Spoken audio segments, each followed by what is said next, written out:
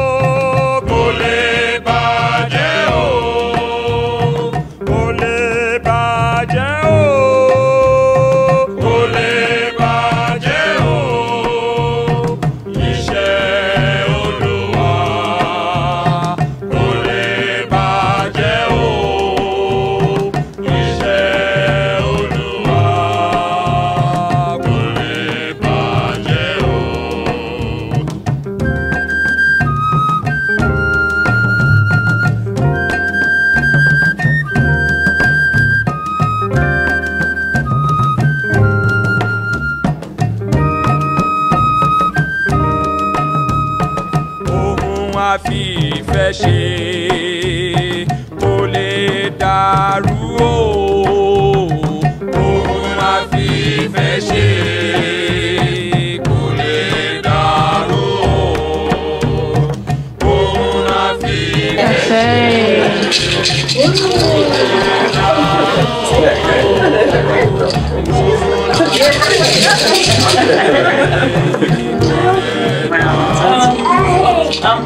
name is Alice Edwards. I'm the daughter of Jerry, and recently deceased, and um, my mother, um, Charity Thompson. Um, oh God, my, my experience was so awesome. My intention was for taking the ayahuasca was to reconnect back with the Great Mother. Not that I was disconnected, I just didn't know how connected I already was. And just to renew that for myself was great. Um, I was so ready for this because I've done so much spiritual work on myself before this. And um, it's so much to say. I don't even know where to begin, really. I really, really don't. And just listening to everybody's stories so far, I agree with what everybody has said because I experienced all of that too. but um, I don't know. It was just beautiful. It was just like overwhelming. um, just hearing everybody working on themselves and working through all of this and knowing we were in a safe place, knowing that everybody was together and as one. And it, it was awesome. Just kò lè dàrú o. kò lè dàrú o. kò lè dàrú o. kò lè dàrú o. ohun la fi fẹ́ ṣe. kò lè dàrú o. ohun la fi fẹ́ ṣe.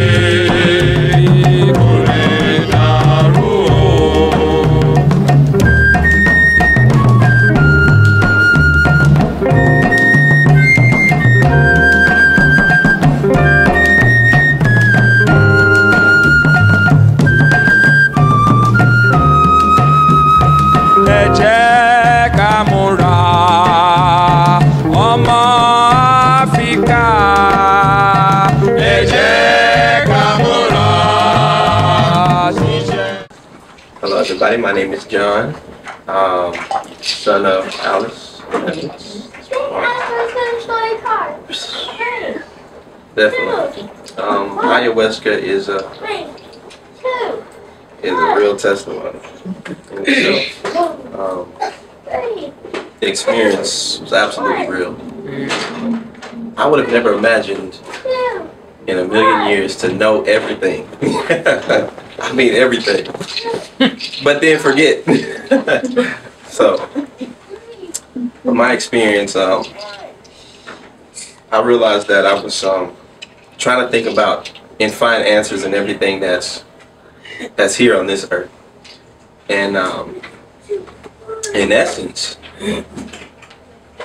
what the Great Mother was was constantly showing me was how to focus on myself, to focus on the things that I'm supposed to be here doing.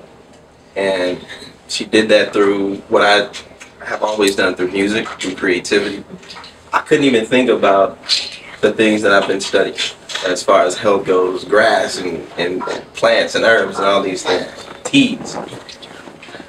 You know, uh, I couldn't even think about it. It was like she just covered it up with just more creativity, and that creativity was so much. It was it was a lot of love. It was everything, and it got to the point where it was so much. I just I just let go, and even if I had my eyes open, and as soon as I closed them, I was back in that same spot again, and that was amazing. That was that was amazing uh, to experience something that just allowed me to to see myself in essence in the great mother. She she she gave me choices to make. She gave me a choice to make, and that choice was sit with it, or if you throw it up, then you know maybe your journey might be a little shorter than you may need it to be. And in essence, I mean, I decided to stick with it, and I came to understanding. And uh, what I did, man, she took me to a place that I'll never forget. I mean, this place was. It wasn't scary. It was at first, but it really wasn't scary. It was like, am I alone? And she just got me out of that mindset, and I actually saw myself in the spiritual form, like in some grid. It was awesome and uh, it was just energy and, and i'll never forget what energy now looks like. And uh, man she took me out of my actual spirit and showed me through her eyes and said you don't think you're beautiful? Look at you fly. I was like and this this smile came over my face. I'm like man you right. You know, I mean, and at this point, I'm just laying down, and I'm like, yeah, absolutely. I mean, that was amazing. That was amazing. And uh, For me, the ayahuasca is like being on a spiritual freeway. And I am the driver. Yes. I am in control. I am in charge. I go around potholes. I fly over traffic. Um, negative noise, I'm able to just turn it down like a radio and say, nope, no time for you. Love is amplified.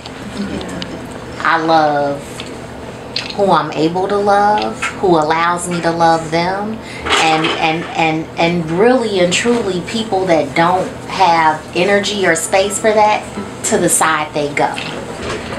if they ready to come back, that's cool, but I'm only gonna do it this time in this body in this spirit with this level of consciousness, and so now I'm on this ride.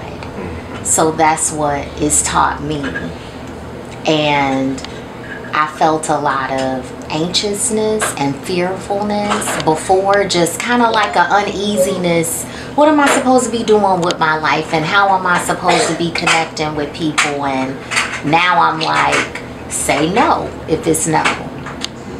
You know, if it's beautiful, say that. You know, if it's if it's brilliant, if you need to study it, now I know I know exactly how I want to be loved. If you can't love me in my shitty moments, please move on. If you're not courage, uh, if you're not courageous and, and brave, please move on. I am a queen. Everyone around me is too, and all the men are kings. And whether they realize that or not, and I really am at a point where I need to be in the company of those who consciously know that about themselves. So I'm constantly um, being taught now. Like, you know how they say BC and AD? That's the ayahuasca for me. It's like pre ayahuasca, post ayahuasca.